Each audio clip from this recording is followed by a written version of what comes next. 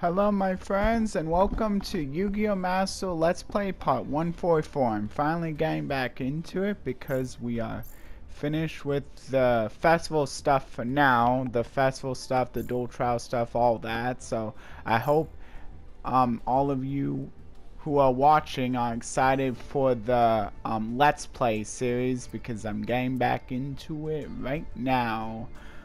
Well, not right now because I need to say the little spiel at the beginning, like the um, please like, share, and subscribe, and considering that notification bell. You can either ring the bell and select it to notify you of all my videos by selecting the bell and selecting all. Um, the videos you like the most by selecting the bell and selecting personalized. Either way you slice it there you'll it'll pretty much be Master Duel. So if you like Master Duel, might as well select all. And then if you don't, you can still select the bell and select none if you want to try to keep up with maybe a game in the future because you can always change your mind later or if you're just trying to be nice but you might like what I have in store. I'll definitely put a post about it too when I'm um it would probably be a while, but oh yeah, this, I have to look at the, what I get here. Galactic Evolution Pack Ticket. Oh. So, okay, I'll show you how to use that real quick. So, Galactic Evolution. So that's for 5 billion packs. So how you use it is you go here and then you can do 10 or you can do 2 I think what you want to do because I'm not sure if it like counts like this super rare thing counts if you open like just two and then two and then two and then two five times. I'm not sure but if you save up 10 of these which you might be able to save up 10 of these let's see how many can you get? Um Assuming you can save up 10 of these, maybe you can just wait. Um, oh, looks like you get guaranteed super anyway. I'm not sure if that still counts towards the super thing. Um, if if basically get two now. looks like you can only get seven though. So, but at least this one is guaranteed. So that's pretty nice. Yeah, but someone can let me know if like um if like you can still open one pack at a time and still get a super in the 10th pack. I just like opening 10 at a time for the most part. And then basically stopping when I can't do that. But maybe um, I'm kind of wrong in that. But like whatever. It's just like I don't mind doing it that way. Um, yeah, and then a few issues with the new cards, as always. You can, like, always go feel free to, like, maybe pause and read if you want. Um, yeah, and then here's the missions about this, and it's talking about how, like, one, um, it does include one where you can get SR above. It's too bad that it can't be a guaranteed, um, holo SR above. That would be pretty nice, but I mean, they still seem to be kind of cheap. Like that last ticket, like it was kind of sore on me because like um, I mean they could have easily made it to where you couldn't disenchant it like either. Um, but they could have allowed, like, uh, gave you, like, a better selection of cards, I feel. Like, only, the, like, having it Legacy seems kind of, I mean, dumb. Like, they should have, like, basically made it so maybe, like, um, Maybe they could have made it to where like you could like like even I'm not sure if Master Pack would have been better because then that would have been even a larger selection. But I'm sure they could have done something. Maybe. Um, yeah, it feels kind of silly how they did it. Yeah, and then the new selection pack. There's a new secret pack too, so it's pretty cool. Like, um, it's another way to get Brone. Um, although you could just craft it, but if you wanted the other stuff, ooh, a deluxe one. So I think that means that, not exact. Oh yeah, it changes. It's Galaxy though. I don't really care about Galaxy. You can feel free to read this stuff if you want. Um, another new icon, a few more new icons. So that's pretty cool. You can feel free to read that. Um, so I'll go into a shop. But I'm try gonna try to make it so that this video isn't nearly as long. And now I can like kind of gauge a lot better because like it's um the let's play and I kind of just don't want it to be very long anyway because um it's kind of late and I kind of just want to get this done and in. Um yeah there's the notes again if you need to read it. And then there's a little snippet if you want to read that. There's that. Protector yeah like basically the same and then the little note if you want to read it.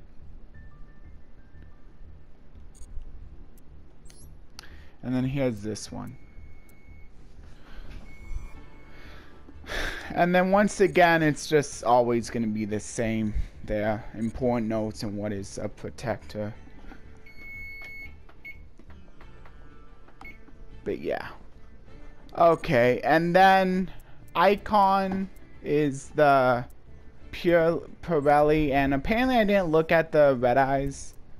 Zoom into the red eyes, so I'll look that. And then here's the important notes and the icon for basically both them, since they'll both say the same thing. Um, and then icon frame. Not sure why they're grayed out like that, but it's this one, the light. So there's that. And then you can look at important notes and like what is icon frame. I think it tells you like basically how to like um, equip them to. And then there's the deck box. Yeah, it tells you how to equip it. And then some important notes. And then it's gonna be the same for this, so. Okay, um, I can also open up a free pool for the Noble Knights. I think I will open that, but I think I'm gonna save the Galactic Evolution until I get all the tickets. And then I can just open them all at once. So I'll do that. I'll go ahead and go into the um, solo mode though. Maybe like the scenarios for today and then maybe one duel if we have time. But um let's see. So it says I can get open the gate. Maybe I should I should just go in order. Or actually I think I can like look at like the release date. Yeah, so date added. I think I'll just so it's going down, so I believe this is the newest. So I think I'm going to just go with the oldest one. Yeah, this is definitely the oldest one. So the, there's the gate details. It's a, this one's about Subterror. And then saying the Subterror behemoth terrorizes the hidden city, basically. Um, and then it's also saying that all um that everyone knows of the, the legends and only those able to escape from it can survive long in this world. Um, so yeah, hopefully you're able to escape from it. Um, if you face it, but of course it's, yeah, whatever. Um, scenario and PN's cards. Here's what's gonna show up in this story. For those of you who wanna know what um are the going off of and I guess you can get a sneak at some of the effects that will be utilized. Because I think usually, you, like, um, at least the scenario cards, like, are pretty much guaranteed to be used. Maybe not right away, but, um, eventually in the duels that are, um, featured here, the duels. Um, so I think that's a good way to like um know ahead of time like some of the cards that like that actually gonna be used because I don't think they use all of the Subterror cards, but um they will probably use most of them. But yeah, there might be a few that are left behind, but I think the ones that show up in the scenarios are definitely going to be ones that are used in, in some ratio, maybe just one of, but like still, that's good enough to um that like you can say, oh, it was still used.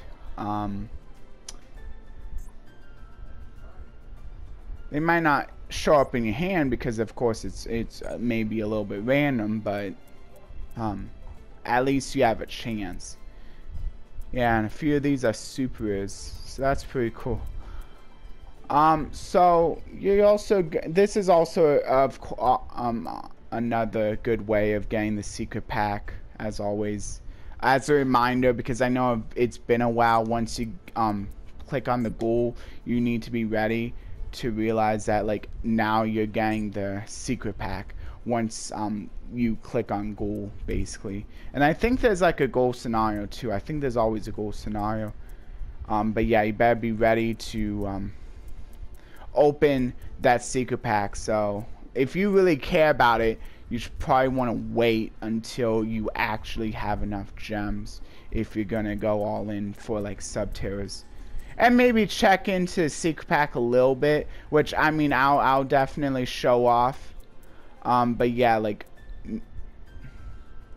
but yeah, you definitely want to see if there's any other cards that like are good in that secret pack because it may not just be the Subterror stuff that are in there that are actually good, and usually that's the case. It's usually not just one deck, and they like to mix archetypes. They might even like mix like Krawlers since. Um, I, I think it's usually like they have like a similarity or like um the like they they both fit within the same lore story. Um, so they have some kind of connection that like fits them. Like Krawlers and Subterrors like may be in this same secret pack because they share the whole like um, flip to activate the effects. Anyway, let's look at the scenario now. I get orbs for this, which is helpful for opening gates, just as a reminder. Okay, so Wicked Dragon, the Hidden City, and always I'll go ahead and go to auto. Okay, so the Hidden City a subterranean world and a capital city where many intellectual races cohabitate. There's no sun nor sky here, yet there's an abundance of nature. The grace of nature cannot be taken for granted as it is an important part of life for the inhabitants. For example, the moss that covers the walls of the large caves glow at regular intervals, illumining the darkness. This light emulates day and nighttime, just like the sun that gives plants and animals the power to live. No one knows the origin of this world and how this world became to be what it is. This metropolis is a culmination of nature's bounty and the will of various species to coexist with one another. In this underground world, where many call home, there are beings feared as calamities from ancient times. living legends that stands at the top of all life in the un underground. The wicked eight dragons called the Subterror Behemoths. To the inhabitants of the subterranean, surviving and effectively hiding from these so-called calamities was a higher priority than finding food to eat. As long as these calamities exist, finding a safe haven is a difficult undertaking. Okay, so there's that that scenario. I'll probably just get the packs over with, and I think I'll go into a pack opening after that. Um, so let's get this practice in. So this is what I get for completing it, Shifting Shadows. Not really that great of a card, and it's really easy to craft anyway.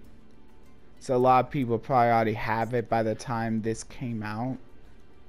Um, but, I mean, it's another three. And then you can always just disenchant the ones you already had. I don't think you ever can get holo versions from as clear reward cards. I don't think I ever have. Okay, so, and then of course the first time it's random, but once you clear it, you'll be able to choose whether you want to go first or second. Oh yeah, and I need to, um, clear out a little bit of solo mode for one of my missions anyway, but not to worry because I still have a lot of time to get done. So I'm not too worried about not clearing up today. Um, what makes a Subterror deck unique? High-level Subterror monsters can be special summoned from your hand when a face-up monster on your field has been flipped face down, and there are no other face-up monsters on your field. Many Subterror cards have effects that flip cards or monsters that have effects that trigger when they are flipped. Use card flipping to draw your card's potentials.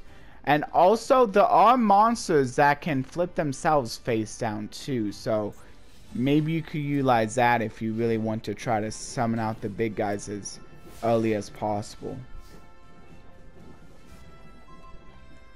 Yeah, and then Helosaurus or other monsters that can just special summon themselves for basically free can also be good because it can also give you tribute fodder if you'd rather just tribute into the big guys. Um, also, the big guys have ways of like flipping themselves face down too. So once you bring out one big guy, it's pretty easy to bring out like others.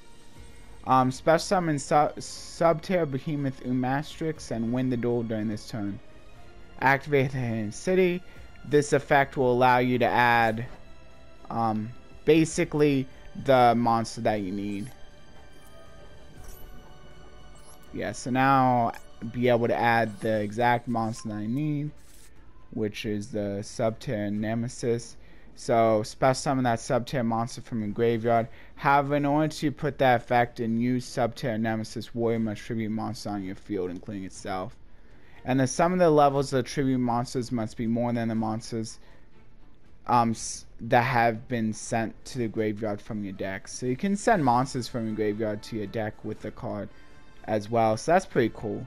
Since you will be special summoning a level 7 Subterror Behemoth Umastryx, you should special summon Helosaurus from your hand and prepare to use the effect of Subterror Nemesis Warrior. Yeah, this is pretty useful because without this, I wouldn't be able to like bring out the big dude since um, I wouldn't have had the correct tribute fodder. Um, try summoning Subterror Nemesis Warrior. So I'll go ahead and summon that. Monsters with the total sum of level 7 on now on your field.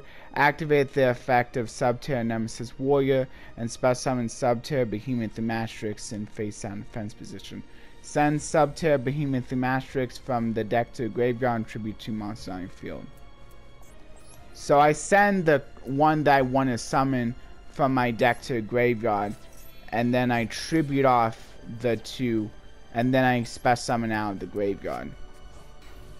That's kind of a convoluted way of getting out from the deck, but um, it helps because um, they can't just well, I, I mean, they might still be able to Ash Blossom, but actually, no, I don't think so.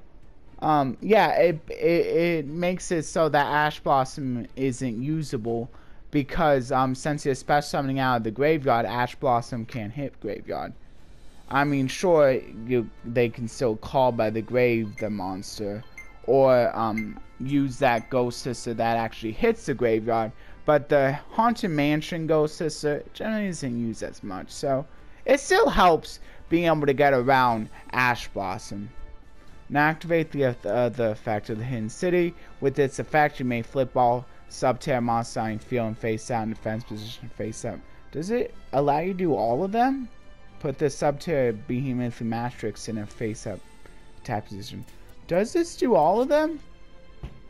No, it's only one. But I guess because I only have the one, the warning was just a little weird.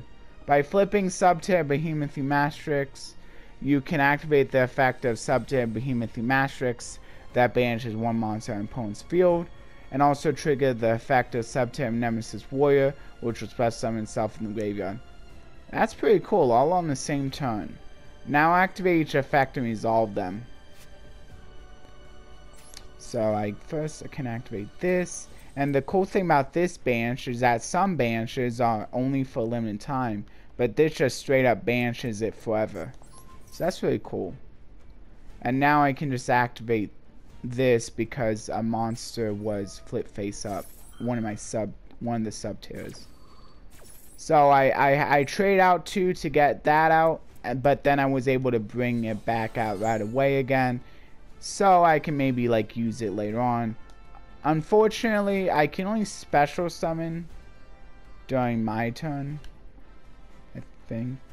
Oh, it's on either player's turn. That's really cool. And then I can just um, flip it face down again. See, that's what I'm talking about. Attack your opponent with your two monsters. Yeah, see, once you get one of these guys out. Well, I mean, even the guru, I believe, can, like, flip itself face down, too. So, you don't even, it doesn't even need to be one of the, like, high-level Subterrors. It can also be the guru. Because I believe the guru can also flip itself face down again. Yeah, but now, I'll go ahead and go into the pack opening. Um, and then after that, I can... I guess I can say my goodbyes to those who don't want to see the pack opening. So anyway, for those who don't want to stay for the pack opening, um, thank you for staying for the um, for the um, practice duel in the scenario at least, or whichever of those you stayed for. Um, I hope you enjoy the rest of your day whenever you watch this. Um, and also, I pray that for those of you who are staying for the pack opening and the rest of you who watch any part of my video, I pray that um, you can get something out of the verses whenever I um, am able to get them posted, which might not be right away, but hopefully, um, but at some point. Um, or maybe like any of the verses that you have already seen, maybe you'll you could even um, search for verses on your own. And I pray that that uh, maybe like um, gives you the motivation eventually to um, maybe seek out Jesus and maybe even bring some of your friends to him as well. Um, yeah. So I'll go ahead and go into a pack opening. Um, yeah, let's look at this. Just one pack of this, but maybe I'll pull something really cool. Oh. Not looking too shabby. The little lightning bolt there. Oh. I got a holo though. That's cool.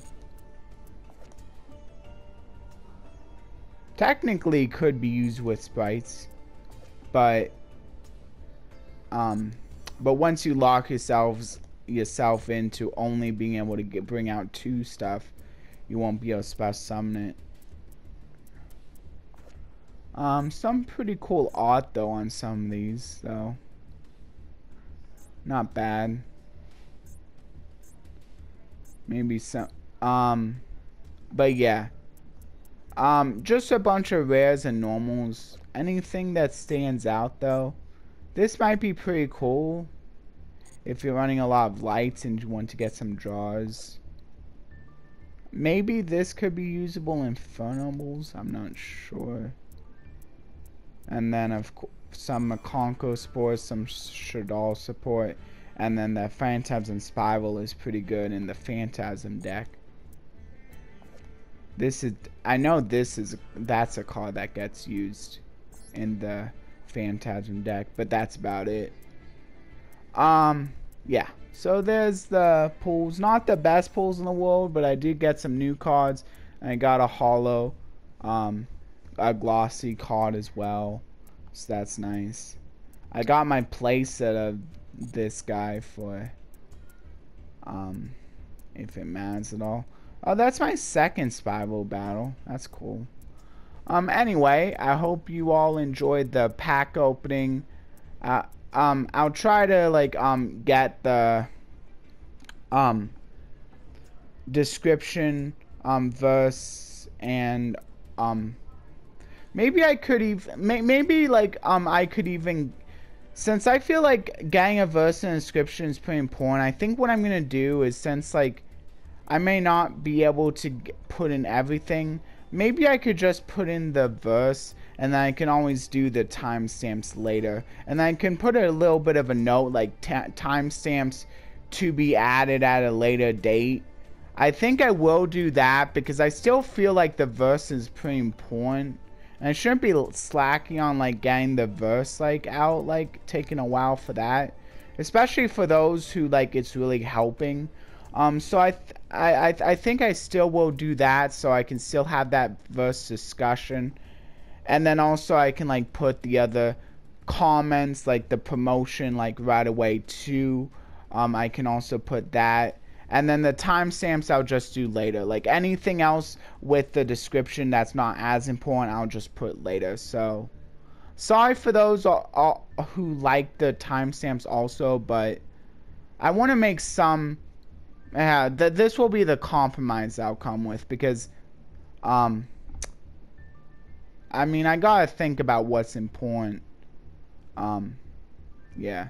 So I hope you all understand. Um, maybe I'll have a lot more, more time to, to, to do the timestamps later on, but for now, that's what I can be doing, and then I can get the timestamps still at some point. Um, anyway, that'll be pretty much it for the video. Um, I'll um put the verses um I'll do the verses by the end of the week uh, is what I'll say. Like probably not the timestamps, but at least the verses and also the comments, the um place where you can promote yourself and the place where you can like discuss the verse if you wish. Um and and that verse discussion will be a pin comment as always. Uh, but I will um in in all my other videos I need to put the verses for, I will put verses for them.